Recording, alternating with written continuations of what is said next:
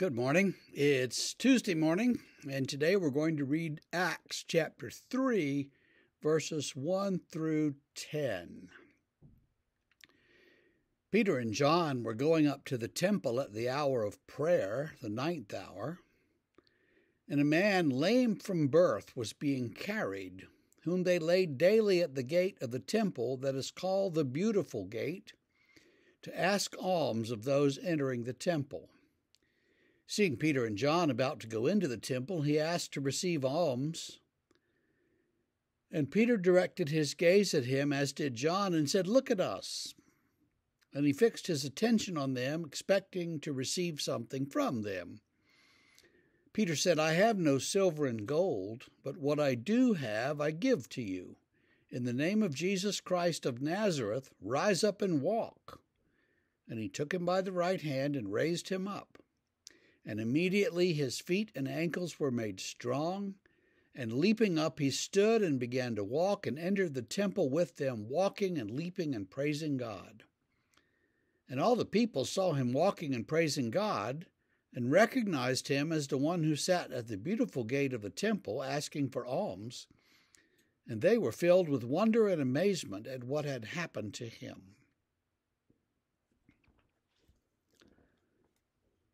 There's a scene in in a movie.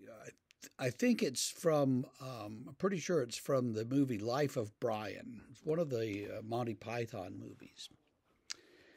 And they're walking along, you know, and and this guy's asking for money, and and and they get tired of him, and he keeps following them and saying, "I want money, I want money." And they finally turn around and heal him Then he's five seconds later, he's behind them again, screaming that they've taken away his livelihood and he wants them to make him lame again so that he can sit and beg. It's really funny. Um, a lot of the scenes in that movie are actually really funny. Well, um, that didn't happen here. The um, they they heal this man. And they say we don't have gold and silver to give you. We what we do have, we will give you. And they say, be healed. Um, so sometimes, you know, there's the presentation problem. Somebody comes in and says, well, I need a $100 because I got to pay this bill. Okay, well, we'll pay the bill, but let's ask the real question. What, how did you get in this position where you didn't have enough money to pay the bill? Well, you know, uh, I spent it all on lottery tickets or, you know, booze or something. Well, see, now there's the real issue. We got to deal with that problem, and then you won't have the shortages anymore. Okay, so let's deal with that. How do we deal with that? Well, you know. So they ask this guy, I mean, he wants money so that he can buy supper. Yeah, we get that. But what he really needs is to be able to walk because then he could fend for himself and he could work and he could be productive member of society. Um, and and so they say, well, we don't have money for you, but here we here's what we've got, and they take his hand and stand him up. It's interesting that he he walks and leaps almost immediately. You know, he he doesn't know how to walk. He's he's been lame from birth, so he's never walked.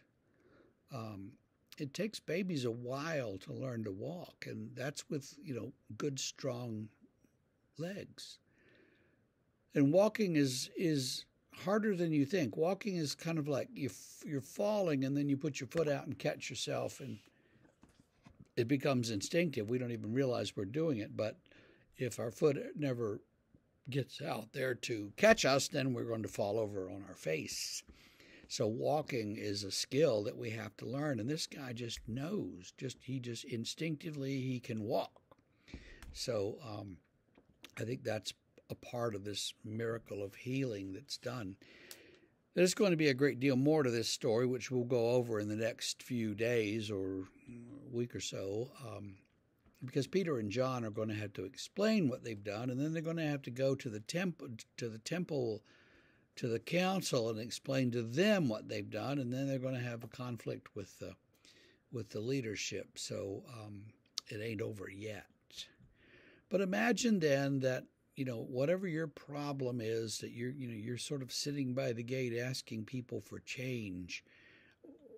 Okay, what's the real problem? What what do you really need healed? And let's pray about that today.